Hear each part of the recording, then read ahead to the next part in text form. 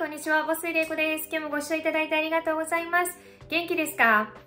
なんかちょっとご無沙汰をしました。もう、あの、なかなか、あの、動画をアップできずに、あの、心配してくださってメッセージをくれる方もいたんですけど、あの、ボスは元気にしておりますということで、してますけども、ちょっともう皆さん失礼をして、寝起きにはあったかいお茶でございますよ皆様。もうなんか11月入ってまだなんかすごい何？びっくりするぐらいの暑さでもう11月でも半袖でいたのねボッシーだけど何何何？この急に10日過ぎたあたりから寒くなってもうなんか洋服何着ていいか分かんなくてもうなんか引っ張り出してきてる今日この頃でございますが皆様体調崩してませんかね？ねこれは本当に気をつけないと一気に寒くなったので、ちょっともうボッシもね、指の、指先がもうかじかんで寒いので、もうお茶、もうあったかいお茶です。美味しいねなんか、もう暑い、あったかい飲み物か冷たい飲み物かしか、常温が嫌いなんです、ボッシー。中途半端とかって。なので、なんかさ、寝起きにさ、左右を飲むとすごいいいって言うじゃない？だけど、もうあ冷たいのをガツンと飲んでおる今日この頃でございますが。まあまあまああの本当にあの皆さんねもう急に、あのー、寒くなったので体調を崩さないでいただきたいなと思います。でちょっとボスではなかなか動画が撮れなくて、あのー、もう本当に忙しくてしておりましたが今日はその新しい会社で、あのー、仲良くなった方とランチデートに行こうかなと思って今日はメイクしていきたいなと思います。うん。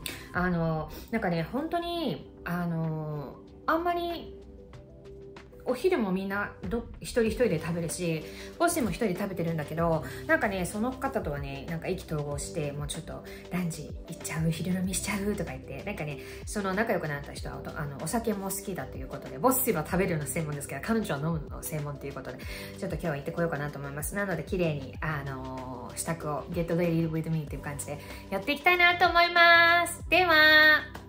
はい、今日はフルメイクをしていこうかなと思いますので、えー、下地から紹介していきます。もうワンサイズのこれ、プライマーですよ。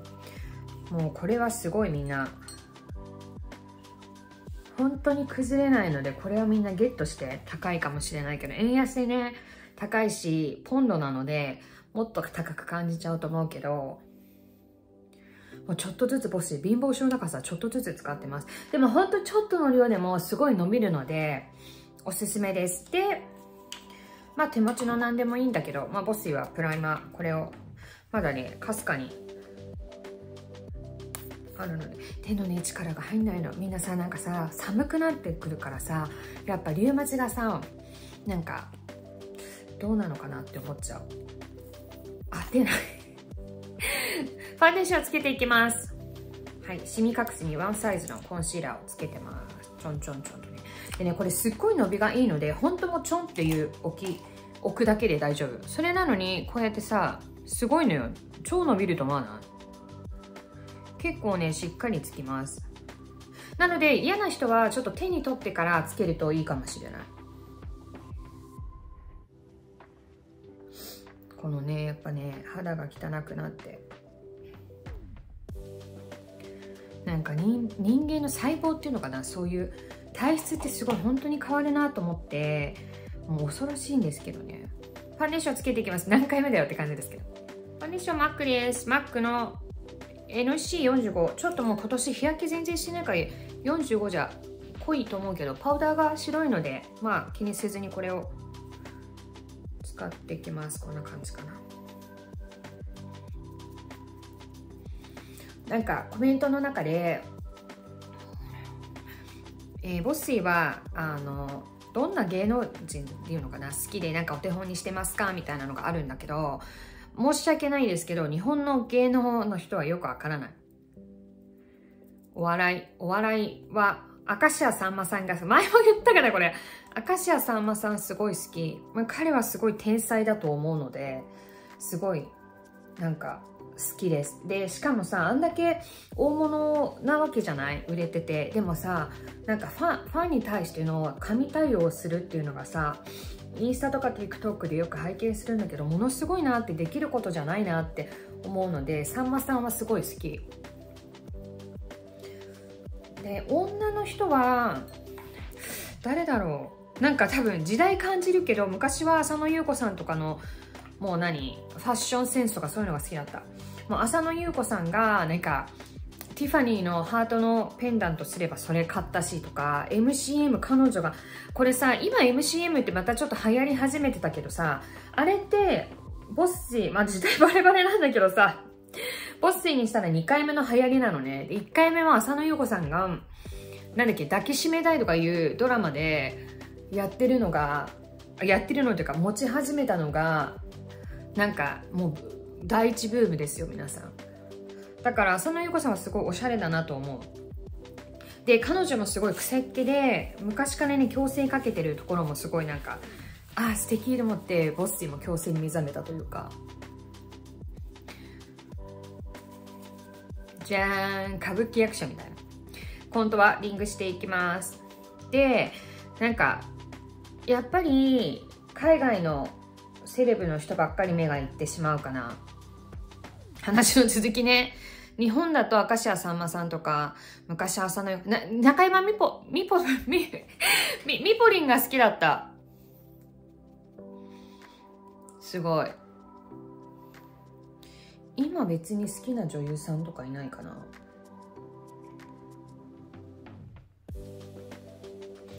でやっぱりメアリーなんかインスタとかでメアリー姉さんとか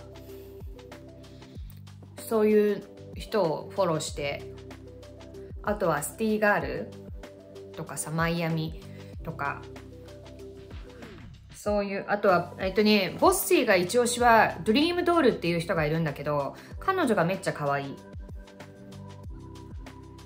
うん彼女は可愛い。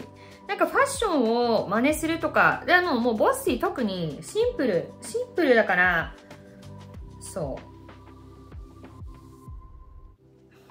そんな感じかな。ドリームドールがおすすめおすすめっていうか一押しボッシーはねすごい彼女は可愛いなと思って。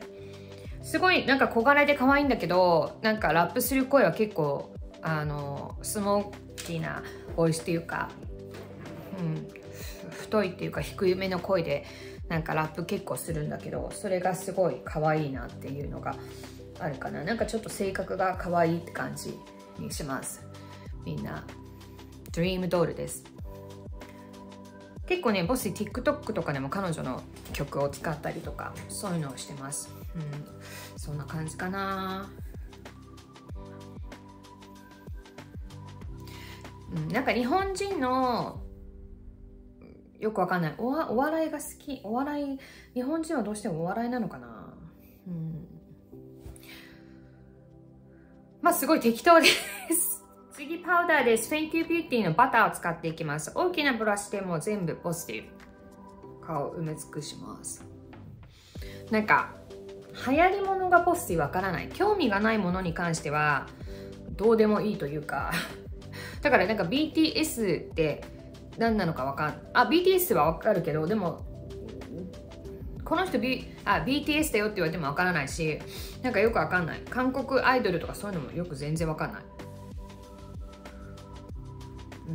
わからない。そのグループ系よくわかんない。日本のグループもよくわかんない。やばいですかね。でこのパウダーでこの目の下からホッシーこれはどんな毎朝でも必ずやってます。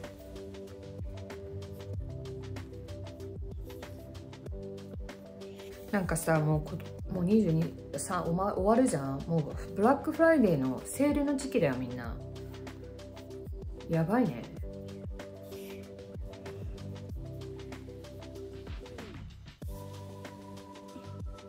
クリスマスだしみんな。もうサンスギビンだね。今年も。なんかさ旅行去年のさ10月の終わりから11月にかけてさ沖縄行ってたわけよ。ハロウィンシーズンにあもう1年経つんだなと思ってめちゃめちゃ早いなと思って。なんか1年経つなと今でもさ今さ新しく会社有給がまだもらえてないの。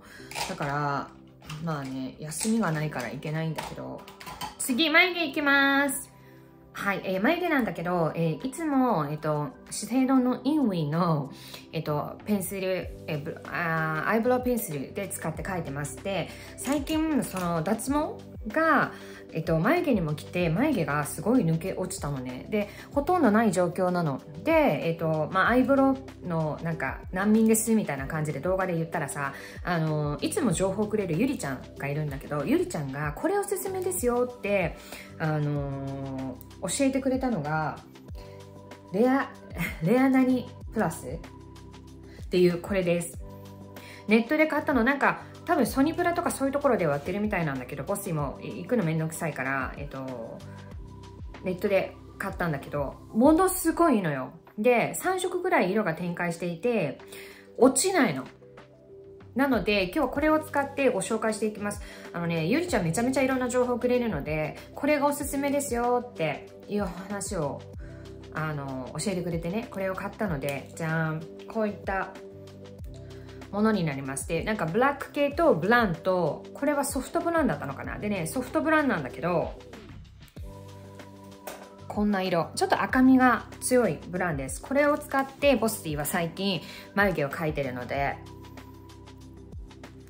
まず、埋めていきます。見えるかな？で、ここに来るとペンを持ち替えて毛をこんな感じで。書いてます。下から上に。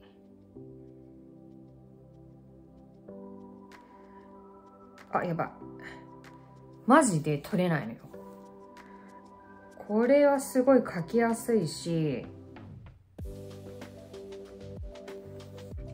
どう？眉毛はあるように見えない？こっちも書いていき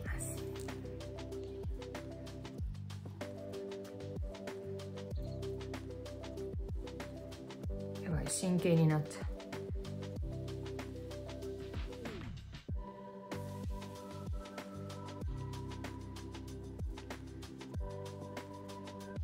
じゃーんボッシーの眉毛はこんな風に作られてます。ちょっと。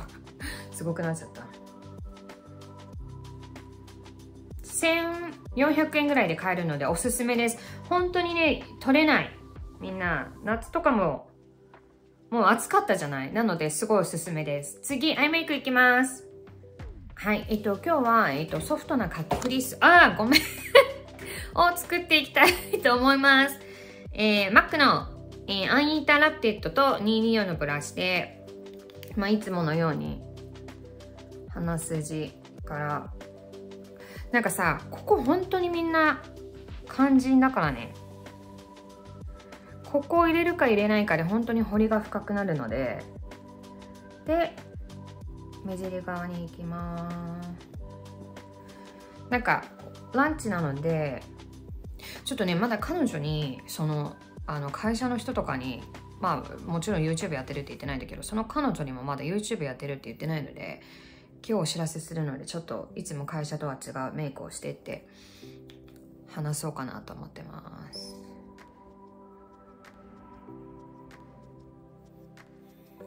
はい。次は、コンシーラー。ちょっとね、軽くコンシーラーつけて、カットクリースの部分、主張していきます。ちょっといつもよりは、なんだろう、ちっちゃめっていうか、ね、遠慮気味に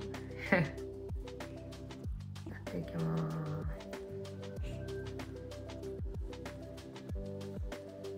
なんか本当はいつもだったらインターラプテッドつけてダークブラウンを目尻とかにつけていくんだけど今日はちょっとこんな感じで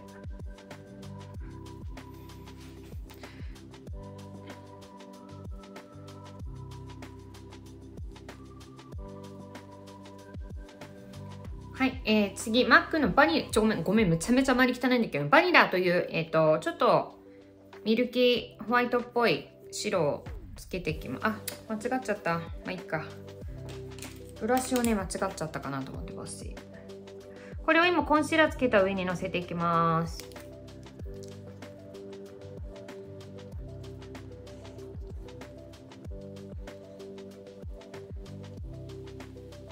みんなハロウィン盛り上がりました？やりました？だからでもあんまりさテレビでもあんまり報道されなかったんだけど渋谷とか盛り上がったのかな？ボッシーがテレビ見てなかっただけかな？でも今年はさ何？コスチュームって薄いじゃない？だけどあったかかったからさよかったよね。もうなんかボッシーたちが楽しんでるところって寒くてさすごい何？なんつうの？あのもうジャケットとかすごい必要だったけど今年あったかかったんじゃないかなと思います。で ここでえー、アイライナーをあない ちょっと待って。ちょっと探してきます。次アイライナーを黒いちょっとペンシルなんていうのかな。リキッドじゃないペンシルの方でペンシルだね。ペンシルで今日は書けない。うん。ちょっとさみんなさ髪の毛伸びてきたと思わない？だけど量は薄いんだけど結構これでも薄何？薄くても主張して伸びてきました。なんかね10月病院に行った時大学病院行った時に育毛剤渡されてこのさ一番生えてないここからそう肌が荒れちゃうし合う合わないがあるから最初は一部分からって言ってねここだけもつけてかすかにね生えてきてるのよここ。ちょっと楽しみです。でこれ下にもつけていきます。あんまりいつもボッシー下はつけないんだけど。見えるかな？なんか。ちょっとなアイラインがあんまり綺麗に描けなかったのでダークブラウンやっぱ使っていきます。ダークブラウン使って。あちょっとごめん手がつっちゃった。うー痛い。はい失礼しました。ボスに透析した後ってこうやって手がねつったりね足がつったりするので。で同じダークブラウンでちょっと細身のブラシでこの今ラインつけたところから上にくるくるくるってしてぼかしてください。でいつもだったらがあの本当に濃いカットクリース作る時このボスダークブラウンも上一回やるんだけどもう今日はこの目尻側をこのラインとくるくるくるってするぐらいで上へ。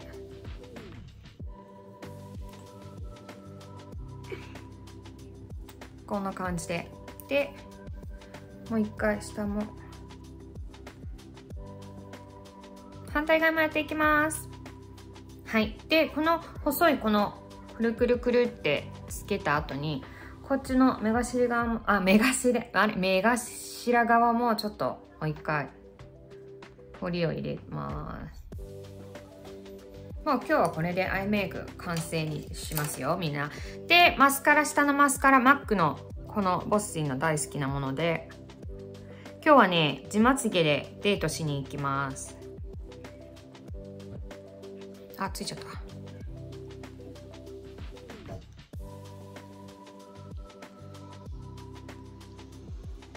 ビューラー。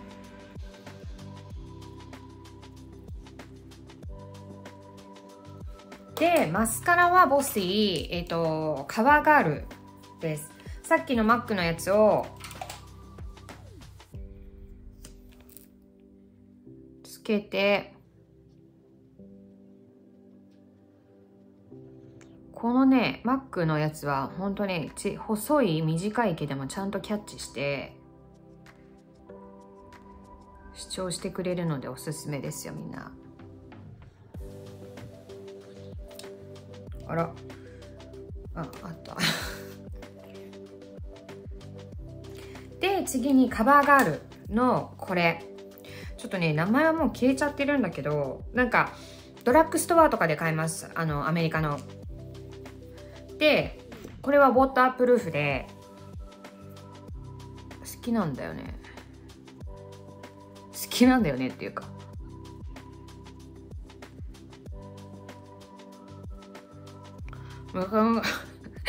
めちゃめちゃ伸びてる。マスマスカラ。はい。次これ。もうねやっぱりボリュームはこれです。このメイビリンのものを何回もつけていきます。今日ちょっとまつげの上がり方が少なかったかも。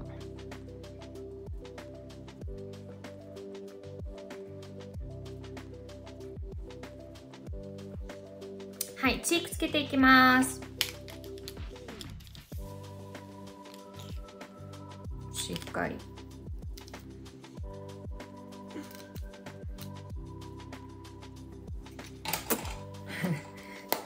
で次鼻。鼻真剣です。細くなれ。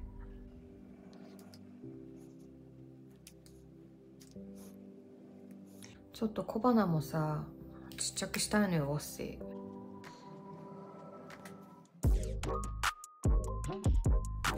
完成しましたイエーイって言ってもまだリップつけてません。なんかね、あの、いつもボスリップつけた後に、あの、完成しましたってやるんだけど、リップつけたところ見せてくださいっていう、あの、コメントがあったので、今日はちょっとお見せしていこうかなと思います。えっと、唇にリップクリームつけてます。えっと、MAC のプライマーかなフレップフラップとかいうやつをつけてます。で、今日は、えっ、と、フェンティビューティーのベージュのリキッドリップをつけていきます。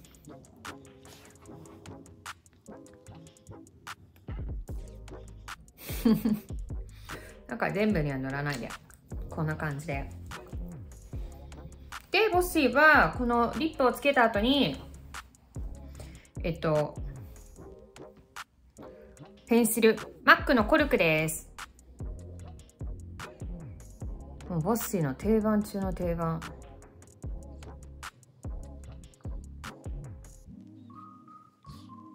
なんかね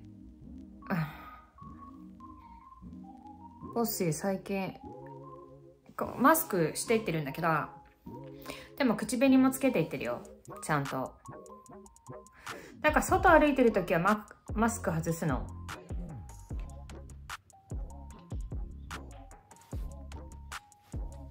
どうかな？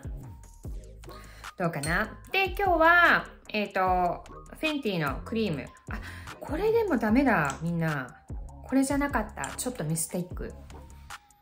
はい、気を取り直して、この、今日は MAC のグロス、ちょっとラメが入ってるグロスをつけていきたいと思います。中央だけ。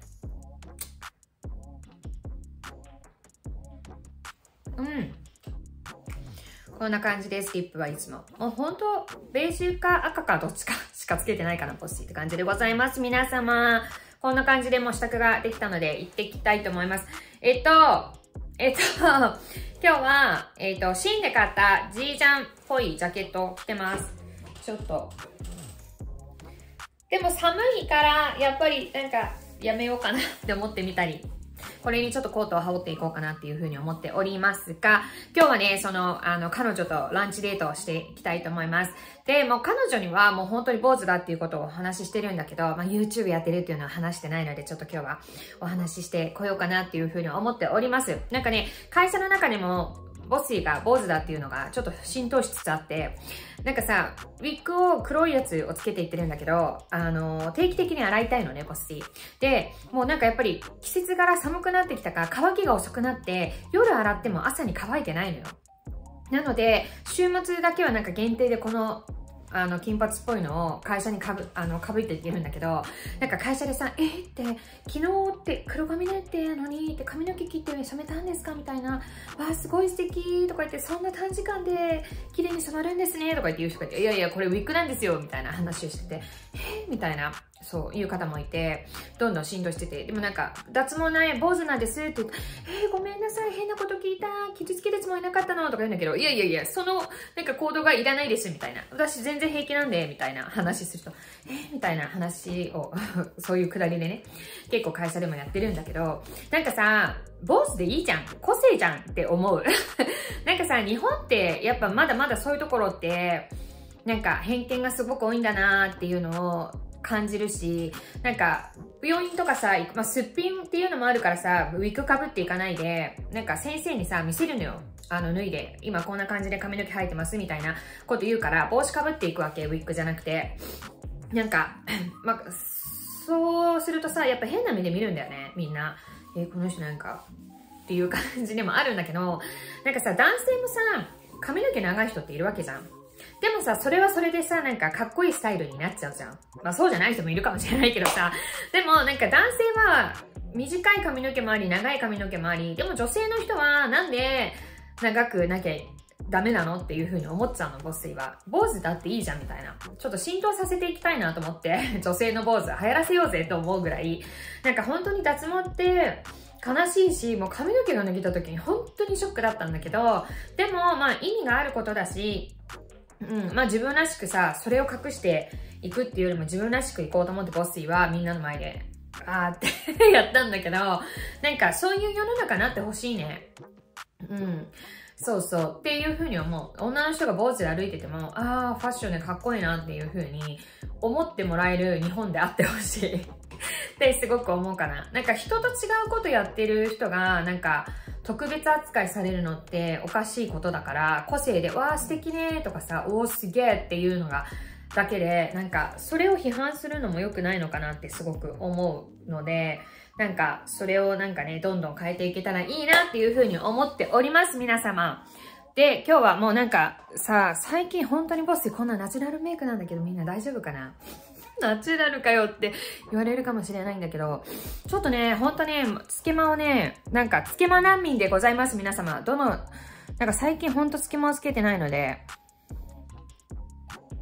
まあでも今日はデイタイムなのでこんな感じで行っていきたいなっていうふうに思っております。皆様、あのー、もうね、2023年も終わりに近づいてまだ今年最後、あの、イベント、最大なイベント、クリスマスというものが残っておりますので、まあそれに向けてみんなもいろいろあるんじゃないかなっていうふうに思います。ボッシーは仕事でございますという感じでございますがね。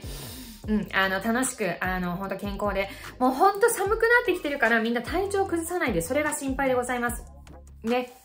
あの、本当に暖かくして、えー、の、過ごしていただきたいなっていうふうに思いますが、あの、まあ、日々いろんなことがある世の中でございますが、笑顔で笑って過ごせる日々を過ごしていきたいと思いますので、皆様、今日もありが、長々とご視聴いただきありがとうございましたということで、では、行ってまいります。じゃあね、またね、ビーバー